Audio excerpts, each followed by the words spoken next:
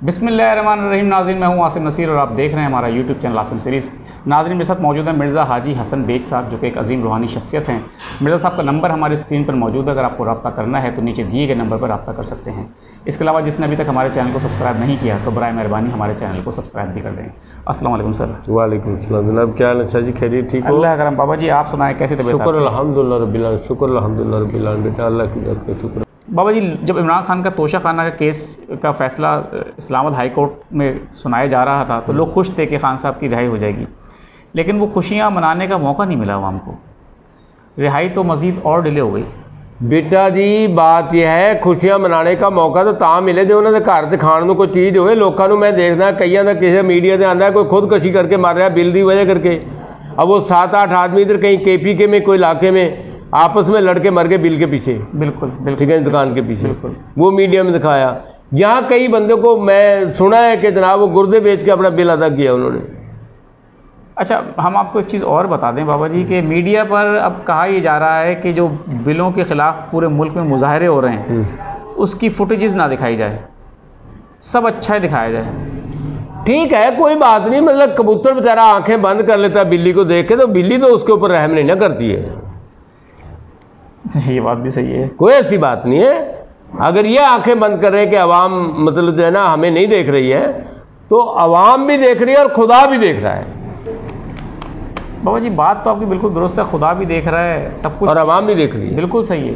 खाना खुदा के ऊपर बिजली का आसमानी बिजली का गिरना कोई छोटी मोटी बात नहीं है। बिल्कुल। और उसकी एक ही वजह हो सकती है कि जब सऊदीया के हुक्मरान हमारे मुल्क के अंदर आके मदाखलत करते हैं हमारी आवाम के लिए तो उसकी सज़ा उनको अल्लाह ने वहाँ एक सिर्फ़ माड़ा सा चैनल दिखाया अल्लाह तबारा ने। अभी भी मैं सऊदीया के हुक्मरानों से यही अर्ज़ करूँगा कि खाना खुदा का वास्ता खा के हमारे मुल्क में ऐसी मुदाखलत ना करो कि हमारे मुल्क के अंदर हमारी मुल्क की आवाम के खून को चूसने वाले बंदे आपकी मुदाखलत की वजह से आए यहाँ बिल्कुल, कहा तो यही जा रहा है कि नवाज़ शरीफ साहब की रिहाई में नवाज़ शरीफ को बाहर भेजने में सऊदी हुकूमत का बड़ा हाथ रहा है। उनके मदाखलत है उनकी मेरे को नहीं पता किसका क्या रहा है। बिल्कुल सही कह रहे हैं आप। लेकिन मेरे को ये पता है कि मदाखलत उनकी है। यहाँ के लोग उनके मरुए मन्नत रहते हैं कि मतलब कि वो जो हमें करेंगे तो क्योंकि जर पता यहाँ जिसने लोगों को मारना तो उसको वो पैसे देते हैं। तो बाबा जी ये जो बता दें आपने जैसे कहा कि वो सात लोग के में मर गए गुर्दे लोग बेच रहे हैं बिजली के बिल हाँ। के खिलाफ भरने के लिए। तो ये जो हालात इतने ख़राब हैं मज़ीद पेट्रोल महँगा हो गया बिजली और कह रहे हैं कि ये यूनिट जो है सत्तर अस्सी रुपये में चला जाएगा। यार ये जहाँ मर्ज़ी करे जो मर्ज़ी करे लेकिन जिस दिन खुदा की लाठी की आवाज़ पड़ गई ना तो ये सब के सब खत्म हो जाएँगे ये बात याद रखें। यही तो हम आपसे पूछने आए बाबा जी कि ये हालात जो हैं छिहत्तर सालों में आज तक पिसते पिसते अब तो बुरा हाल है चीखें निकल छिहत्तर सालों की बात नहीं कर रहा हूँ मैं तो सिर्फ़ सिर्फ़ ये जो है ना अपना डेढ़ पौने दो साल की बात कर रहा हूँ आपको। अच्छा ये बता दें कि खान साहब जो हैं ये अगर बाहर आ जाते हैं जैसे आपने देखा है कि सफ़ेद गाड़ी में बाहर आएँगे हाँ वो तो आएँगे। तो ये कि कोई आइडिया है कि ये जल्दी होगा अभी इसमें वक्त लगेगा? देखिएगा मैं इसके बारे में कोई बात नहीं करता हूँ। जब तक मेरे को कोई अल्लाह की तबारा की तरफ़ से कोई डेट नहीं आएगी। पहले आप लोगों को जब भी बताया पहले जून से बताया चौदह जून का बताया फिर अगस्त का बताया मैं डेट वाइज बताता रहा हूँ लेकिन जिस चीज़ का मेरे को डेट की कोई इशारा नहीं आएगा उसके बारे में कोई बात नहीं और अच्छा नवाज़ शरीफ की वापसी के बारे में कोई आपने देखा? नहीं उसके बारे में अल्लाह का शुक्र आप कुछ नहीं देखा लेकिन नवाज़ शरीफ ने मेरे से कोई आज से कोई पंद्रह बीस दिन पहले मैंने शायद आपको पहली वीडियो में बताया था कि मतलब उन्होंने मेरे से को मिले थे और वो मेरे को कह रहे थे कि आप मेरे को टाइम दें थोड़ा। सा वो तो मुल्क में ही नहीं आ रहा टाइम कहाँ से देंगे? मतलब मेरे को ख्वाब में मिले ख्वाब अच्छा। में उन्होंने मेरे से कहा कि आप मेरे को टाइम दें आप टाइम नहीं मेरे को देते हैं। अच्छा। मैंने तो मैंने उनको ख्वाब में कहा मेरे को ठीक है जब आप आएँगे तो आपको टाइम मिलेगा कोई ऐसी बात नहीं। बिल्कुल ठीक है।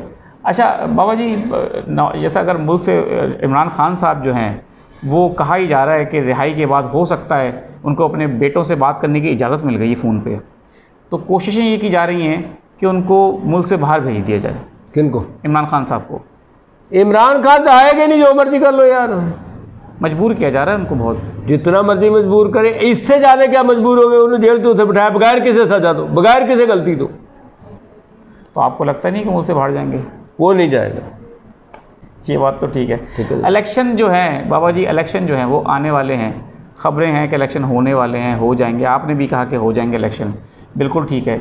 इलेक्शन में आप क्या देख रहे हैं कि मतलब साफ़ शफाफ होंगे इकतदार जो है पहुँच? यार चाहे कोई किन्नी भी धांधली करे जीतेगी इमरान खान की पार्टी ये गल याद रखो।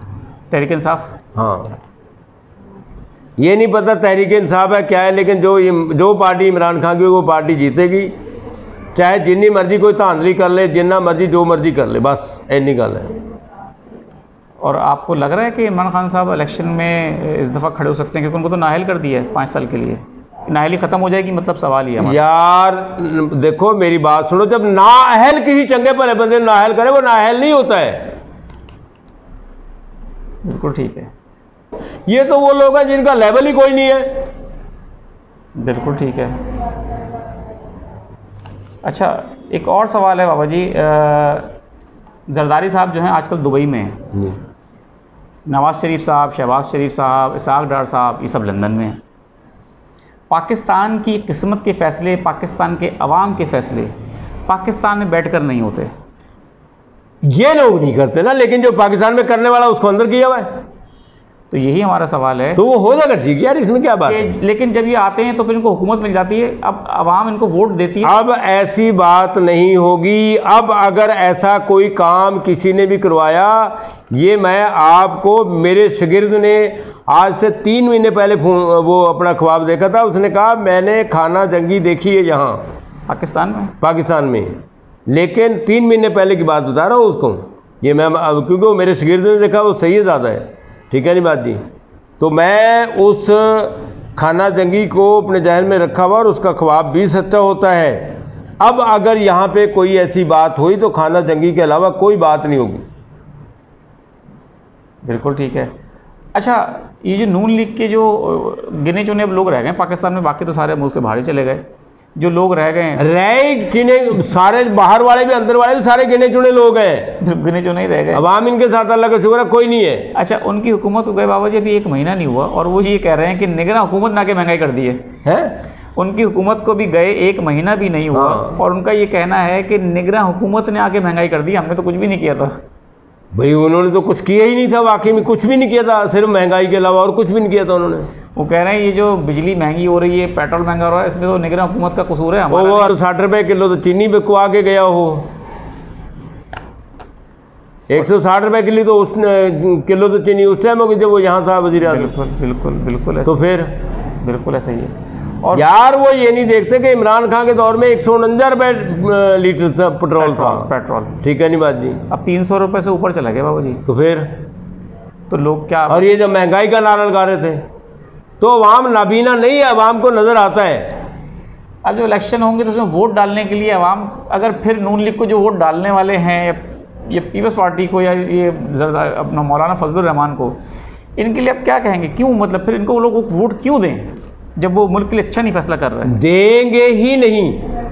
जो भी होंगे वो जाली होंगे जितने भी वोट होंगे किसी के दस हज़ार बीस हज़ार जो भी होंगे वो सब जाली वोट होंगे ये बात याद रखो। अगर उनको असल कोई पाकिस्तान का अगर किसी बंदे के खून के अंदर एक जर्रात भी है तो वो नहीं देगा वोट इनको ये बात याद रखो। बाबा जी आप जैसे कह रहे हैं लोग इनको वोट नहीं देंगे। हमें भी पता है कि लोग इनको वोट नहीं देंगे। लोगों को भी पता है उनको वोट नहीं देंगे। उसके बावजूद भी ये कह रहे हैं इलेक्शन कराओ।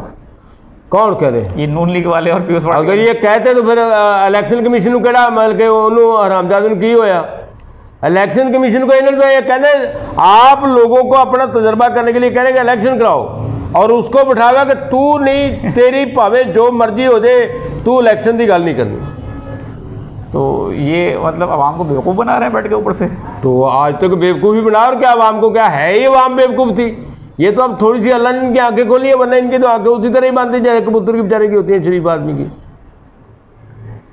तो ये तो बिल्लियाँ बाहर चली गई ये तो इन्होंने आँखें खोल ली है। बिल्कुल ठीक है। बाबा जी आपने जैसे हमें बताया कि अभी कि ये सिर्फ़ आवाम के सामने एक शोर मचा रहे हैं कि इलेक्शन कराओ। हाँ ये इलेक्शन के लिए एक दिन अगर इलेक्शन के रजामंद होता तो यहाँ से हम ऐलान करके जाता खुद। हाँ ये बात तो निगरान से पहले वो करके जाता। बिल्कुल। लेकिन इलेक्शन तो इन्होंने पता कि वो इन्होंने इलेक्शन करवा के मरना है।